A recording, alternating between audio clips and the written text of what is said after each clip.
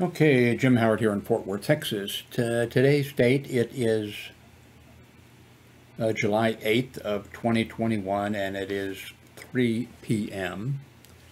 The video you're seeing here on the screen, I uh, uploaded about 30 minutes ago.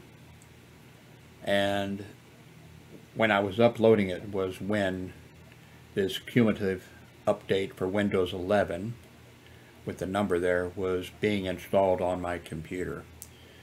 so the upload was completed before I needed a reboot. I've rebooted and I've come back up and I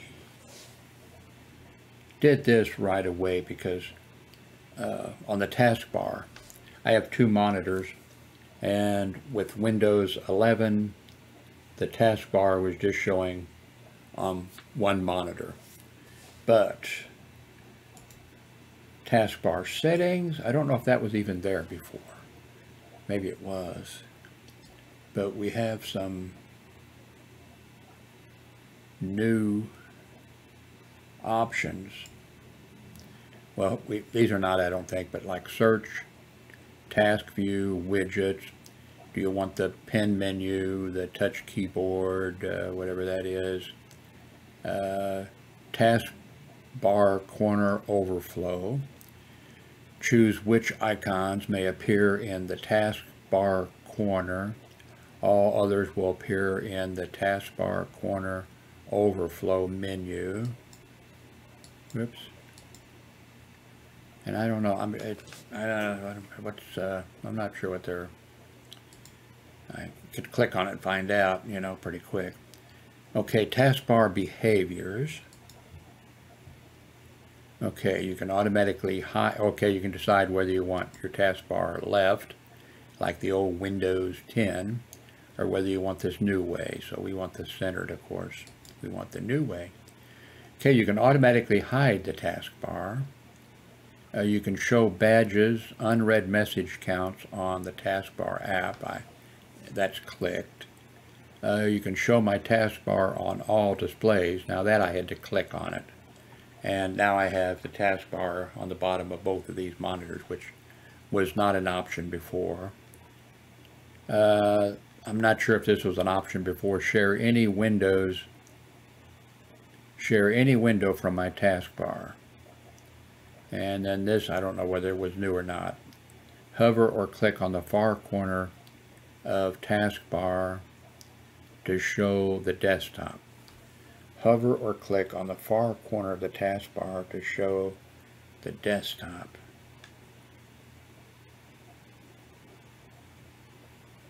Hmm. Show desktop.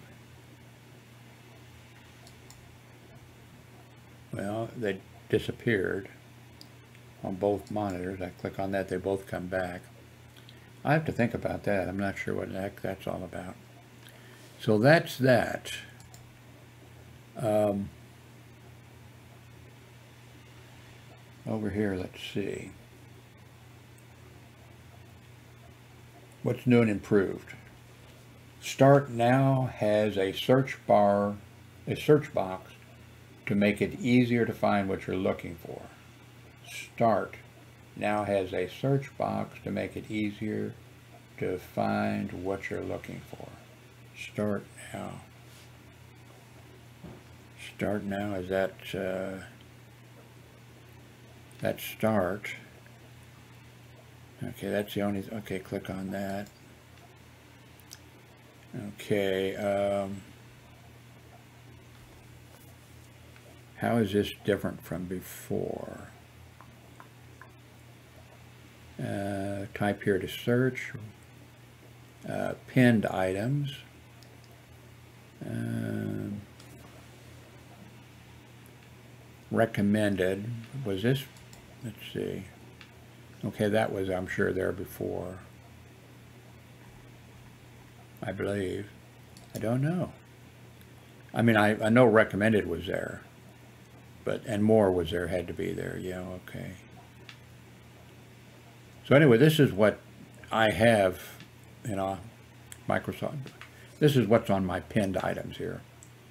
Um, and that's going to depend on whatever you, you know, set up and using. Anyway, I have Microsoft Edge, Word, my mail program, calendar, Microsoft Store, Photos. Let's click on Photos. Okay. So these are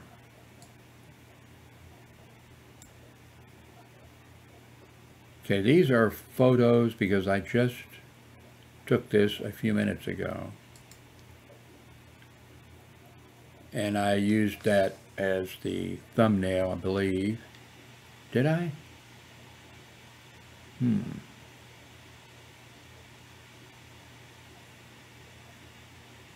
No, I did not. So I would have to go into, let's see, edit video.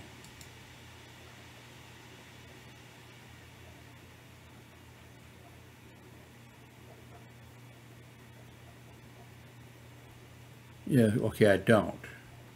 But here it is, really basic. Well, it's, uh, yeah, I can just go ahead and use that rather than upload this one here. Okay, so I will save that. Okay, what was I? Close this.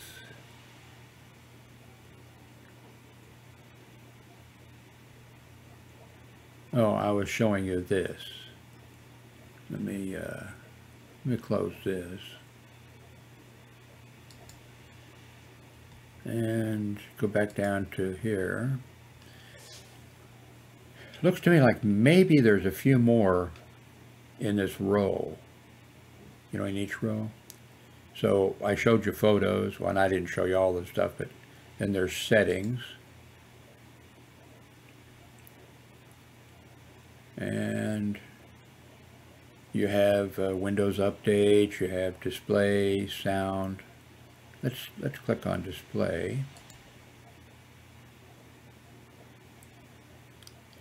Shows you that I have two monitors, multiple displays, choose the presentation mode.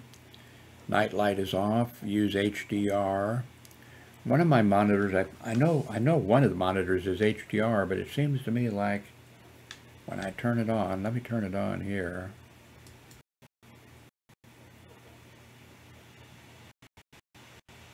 Uh, okay, monitor one, which you don't see.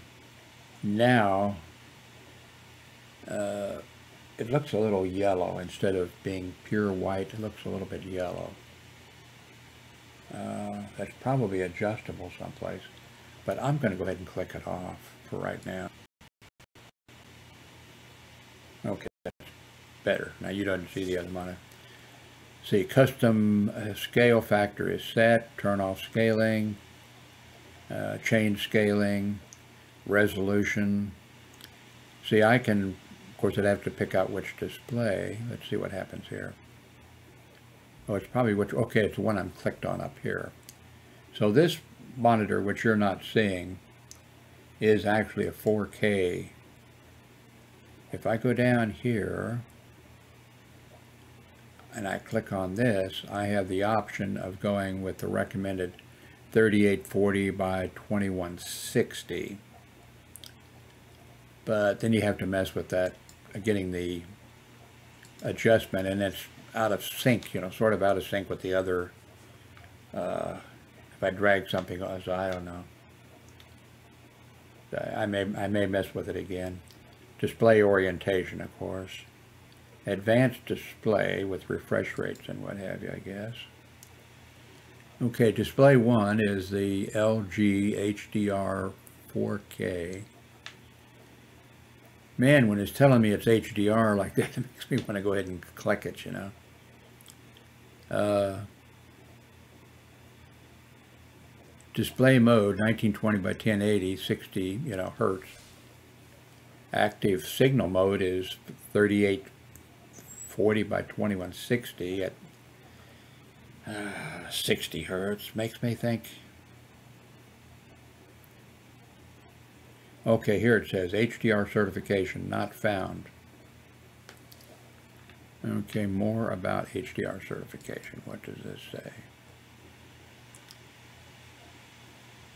To display streaming high dynamic range HDR video in Windows 10 version 1803 or later, the built-in display for your laptop, tablet, or 2-in-1 PC needs to support HDR. Well, mine does, supposedly. The built-in display, because I've actually used it in, you know, the... Uh, the built-in display needs to have a resolution of 1080p or more and a recommended maximum brightness of 300 nits. Okay. Hmm, okay.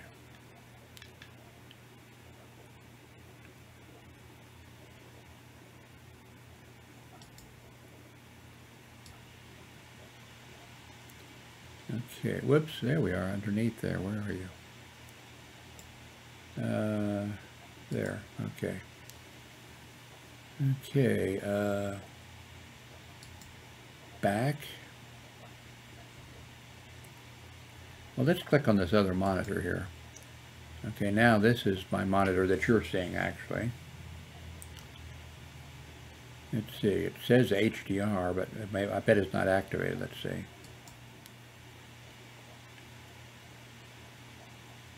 Huh. Okay, it says down here, you know, HDR not supported on this my on this monitor. Okay. Go back to this monitor here. Go down. Okay. Advanced display. That's what we looked at a while ago. Uh, scaling. Okay, that's where, oh God. Got a feeling I'm going to be messing with this later today. Why, I don't know. Anyway, um, okay, what else? Let me look over on this other screen here. Says we've updated several system alert dialog boxes, such as the alert for when the battery is running low on your laptop or when you change your display settings with the new Windows 11 visual design. The power mode settings are now available on the power and battery page in settings. Okay. Uh, did I just close? I did, didn't I? Oh, the heck with it. I don't want to open it up. Anyway. So, what shall we, I'm going to go over here and close this off, take it out of my eye view there. Let me show you some, let's see, Google Photos. I took these pictures outside, I think it was yesterday. The sky looked, the clouds looked, you know, so these were taken outside here in this apartment complex.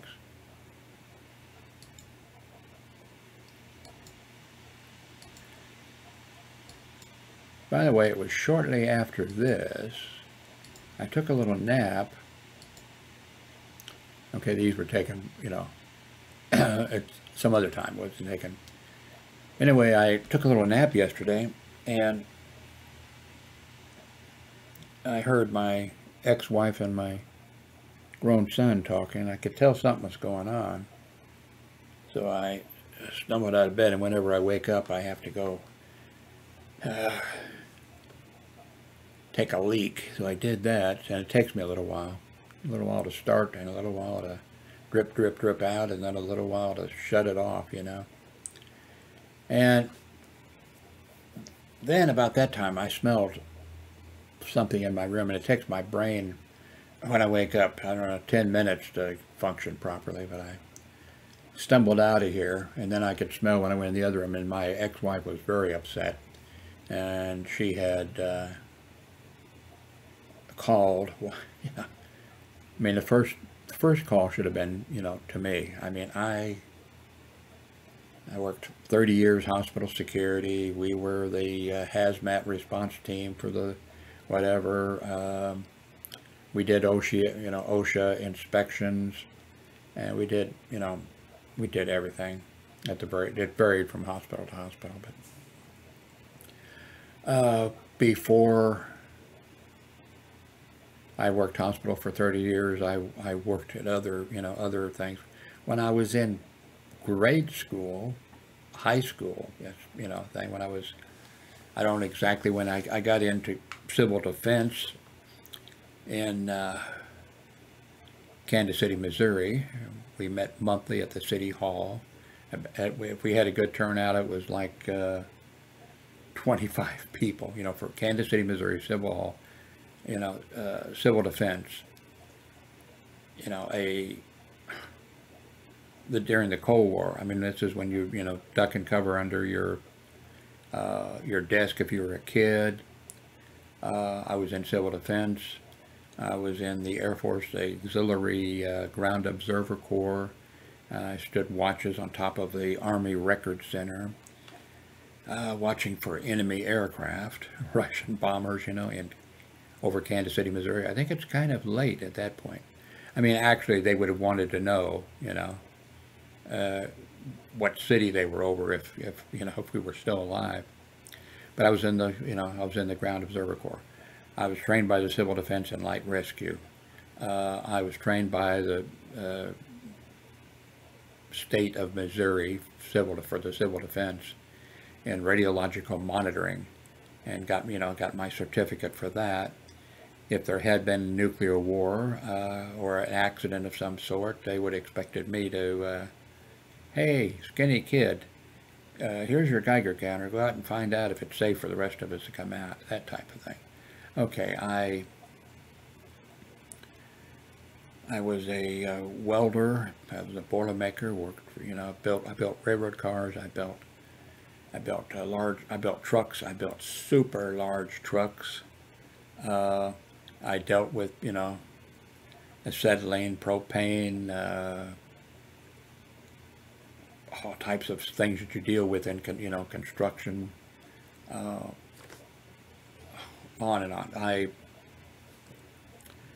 uh, the uh, when the Air Force did away with the Ground Observer Corps, we were trained as weather observers by the weather department for watching, you know, for and reporting tornadoes and that type of thing. And uh, every one of the hospitals that I worked at, security, you know, not only did we have to, you know, be aware of what to watch for and report and getting the hospital into code gray or whatever the code was for there. And, uh, but we had to go around to, you know, all the nursing, all the employees, wherever we could find them, you know, with a VCR or whatever, and show them every year the uh, tornado procedures and severe thunderstorms, severe, you know, all of this kind of stuff. Uh, years later, I was uh, trained as a volunteer firefighter for a volunteer firefighting department. As soon as I finished, as soon as we, the group, finished the training, everybody was wondering, why aren't we getting our card so we can run, you know, blue lights and siren or whatever? And I had a feeling and that the fire chief had uh, found out that I had uh, when I started the training, I was not a reserve officer for Raymore PD, but during the training, I became a reserve officer for the Raymore PD. And uh, so I got, everybody's waiting to get their, you know, the card. Uh, I already had a siren mounted on my private vehicle, and I had a red light on the dash, but I had a uh, blue stocking cap that I kept over it for years. I think I only had to use it once or twice. Uh, but, uh,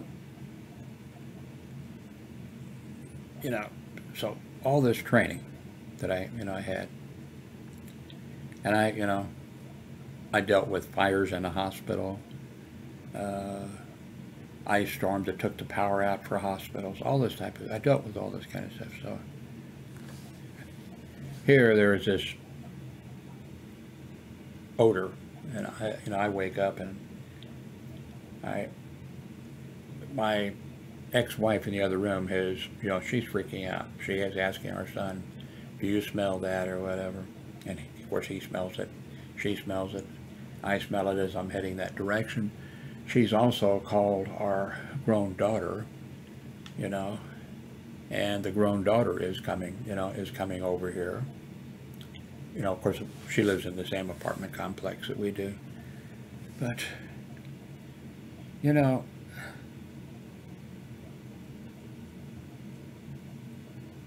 shouldn't I have been the first call? I mean, now if it was the smell of, you know, natural gas, and there's no natural gas here except down by the office, there's a, a boiler down there for heating up hot water, and then it's piped through the ground. None of these apartments have any gas. There's no gas here. It's all there. Everything's all electric. But, you know, right away, if, if it's, you know, call the fire department, you know, if you smell gas. Uh, shouldn't I have been the first person to, uh, I mean, it only took, you know, but my grown daughter shows up. My, uh, in fact, my grandson, my grown grandson, he lives, he should, you know, uh, he shows up. He's over here. Shouldn't I have been the first person to call? But, you know, I was heading that way anyway.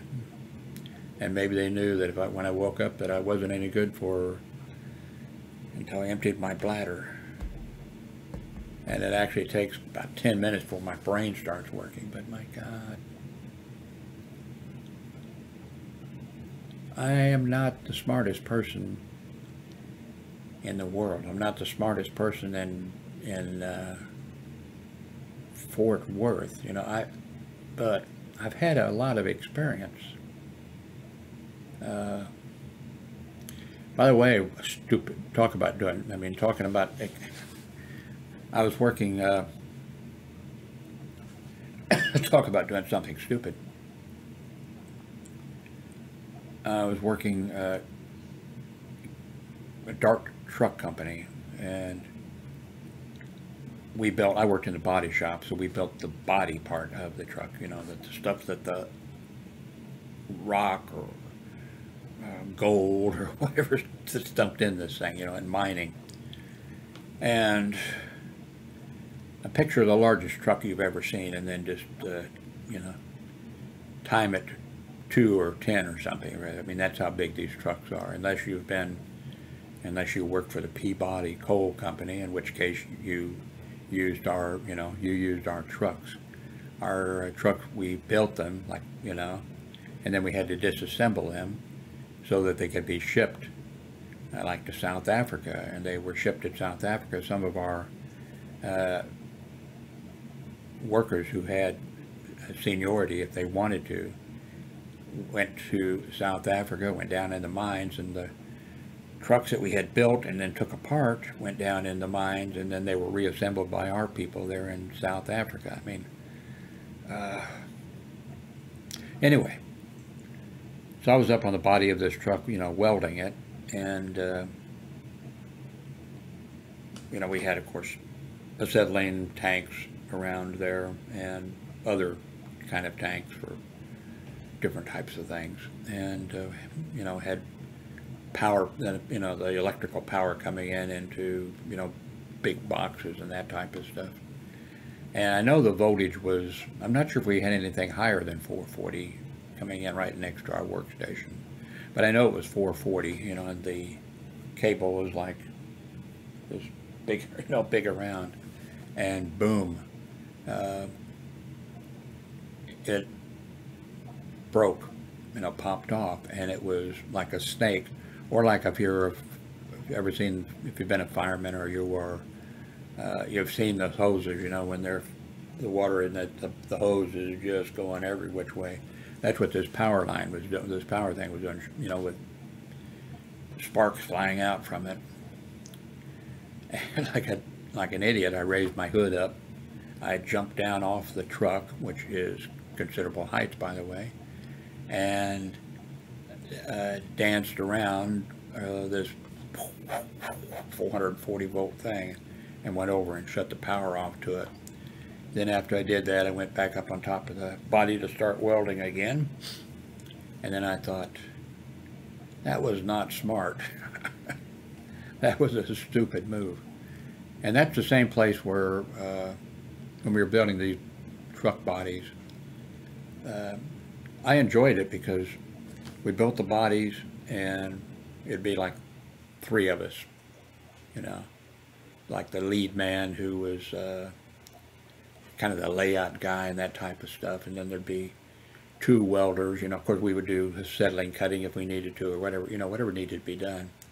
But we would go, you know, it, you kind of knew after uh, you knew what you were going to be doing, like, you know, when you left off, when you came back the next day, you knew, okay, you know, and we knew we'd, you know, but, you know, in the beginning we'd go out, uh, take the overhead crane out, you know, run the overhead, you know, to pick up a piece of, you know, metal, gigantic piece of metal, bring it in and put it on the jig. That'd be, you know, the floor of the thing.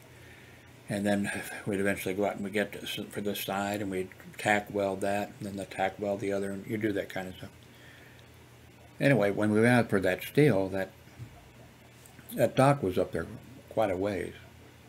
About the highest dock I've ever seen, and I'm talking about later on, I was, you know, uh, worked part-time for, uh, well, I had my own for about a, a year. I had a security patrol service, but I worked also part-time uh, for security patrol services and, uh, you know, checked factories and uh, car lots and all that kind of stuff. Anyway, this was the biggest area down that I, because this was not a dock for a truck to back up to, you know. This was way up there. Anyway, I went out and for some reason, I needed to get down instead of, you know, going over and taking the stairs down because I think I was working with this steel and this kind of stuff. Uh, just for a few seconds, which was long enough, I needed to get down, so I just jumped. And then on the way down, I thought, this was not a good idea. And then I hit the ground. And I didn't break anything, but I just wonder if, I wonder if I ended up an inch shorter than what I really was. Anyway, moral of the story is, you know, uh, my family should, uh, my ex-wife really well, she has some problems, I think, but she just, I don't think she has any faith or any confidence in me or anything else, you know, she, she'll, uh, but I have had a little bit of experience. You know, when tornado watch or something like that, you know, she'll be telling me what she thinks, you know, we should do or or what is that, you know, you know, of course she can, you know, she's in a wheelchair. uh, it's just too bad she doesn't really have much respect for me. I don't think. And maybe she doesn't for anybody. Anyway, thank you for watching this uh, video. I kind of ended on a bummer thing, didn't it? It's kind of, I think because it's kind of embarrassing, you know, here.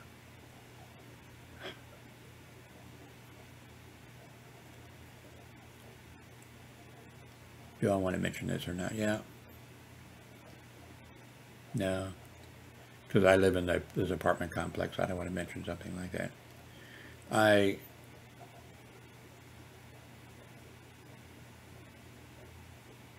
I went to the office and told the office that there had been a uh, an explosion here in the apartment complex.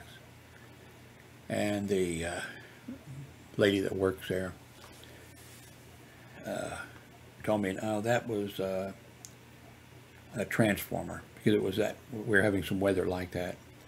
You know, that was a transformer. I said, no, there was an explosion on a, an apartment on the on the deck thing. The, the door is blown open and there's a debris field, you know, with stuff there. You know, a perfect. If you want to do an example of, you know, checking for debris for where a blast came through, you know, I said no, it's, you know, No, no, it was a transformer.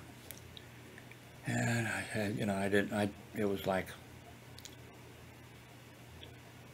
I tried to persuade her a little bit, you know, no. And then, you know, I didn't say, well, know, I was a volunteer firefighter, and I mean, I didn't, it just didn't do any good. I just, okay. I think that what, what, it, you know, we have a, we have patios here, and I think somebody, this was not terrorism or anything like that. I think somebody had something, maybe they were, you know, uh,